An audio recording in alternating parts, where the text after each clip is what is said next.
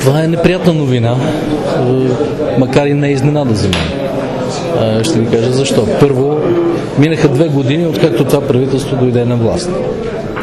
Мятаха се от една крайност към друга.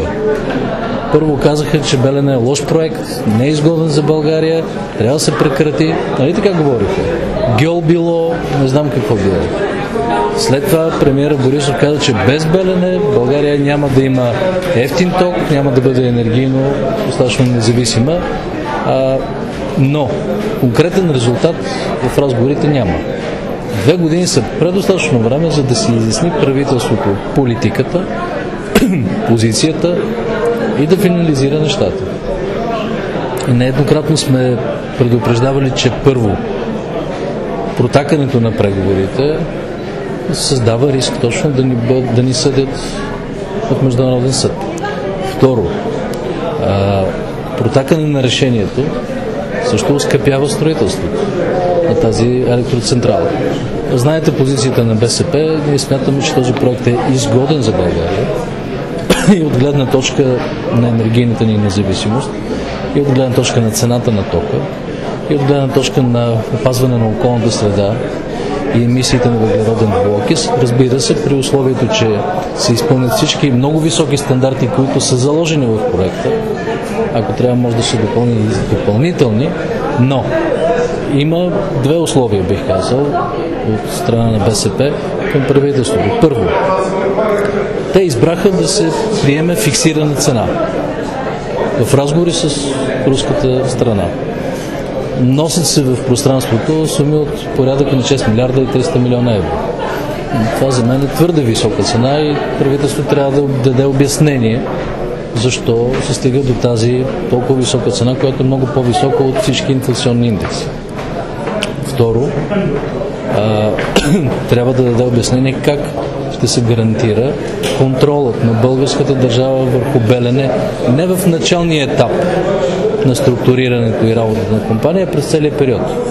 За да знаем, че печалбите, политиката, която може да се прави чрез Белене, ще бъдат контролирани от българската държава. И че българските граждани ще получат плюсовете, а не някой чужд собственик на Белене, ако се стигне до преструктуриране на капитала в бъдеще, да получава ползите, а България да поема отговорностите и рисковете.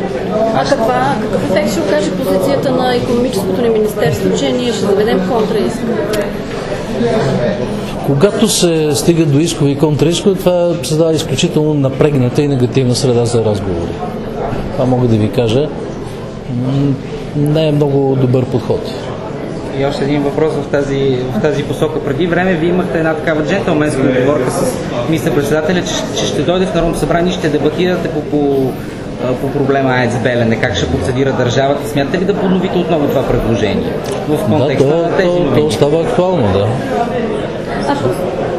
Всъщност България може ли да излезе от ситуацията вече, така че да не е толкова губеща, колкото на този етап да бъде? Или действие на правителството до толкова докара ситуацията, че да не може? Винаги може да се излезе от ситуация. Стига да знаеш как. Е, стига да имаш и волята да го направиш, и знанието да го направиш. До сега бяха допуснати изключително много грешки от това правителство в хода на разговори с руската страна. Първо, защото се даваха постоянно негативни сигнали. Второ, не пролича сериозност в преговорите. Спомняте си, имаше заместник министр, който беше после отстранен. Очевидно той не се възприемаше много несериозно от руската страна. Като че ли имаше успорен преговарящ господин Златев. Това се дава много объркване. България, разбира се, трябва да устои своя интерес по отношение на цената и по отношение на контрола върху електроцентралата.